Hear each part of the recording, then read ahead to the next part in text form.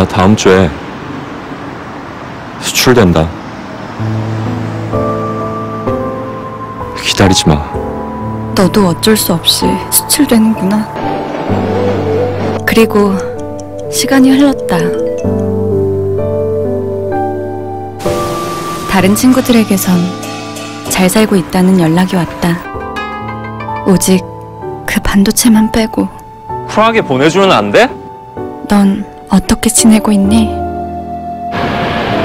쿨하게. H119 반도체 너와 함께하고